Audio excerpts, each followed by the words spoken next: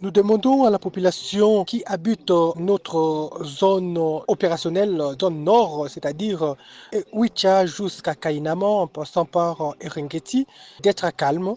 L'armée a déjà des informations, des renseignements sur euh, la menace qui pèse sur euh, certains de nos cultivateurs et aussi la population dans son ensemble. Ce que nous demandons à la population, c'est de ne pas paniquer, de ne pas céder aux intox et infox qui circulent sur les réseaux sociaux, qui visent seulement les déplacements de notre population. Nous devons travailler main à main avec euh, l'armée et tous les services de sécurité et nous demandons également aux acteurs de la société civile d'être euh, proches, de collaborer avec euh, FRDC et nos commandants sur terrain pour mettre hors d'état de nuire l'ennemi. Nous demandons une fois de plus aux cultivateurs d'être en contact avec le chef du village et les services de sécurité également pour actualiser les renseignements à notre disposition et mener les opérations de traque des djihadistes MTM et SCAP qui sont déjà visibles dans certains villages de Kainama et de Rengeti.